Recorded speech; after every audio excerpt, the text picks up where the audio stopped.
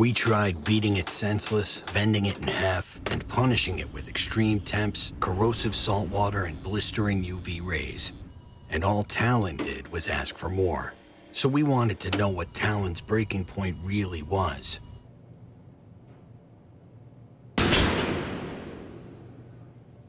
We'll let you know if we ever find it. Talon. Born tough. Tested tougher.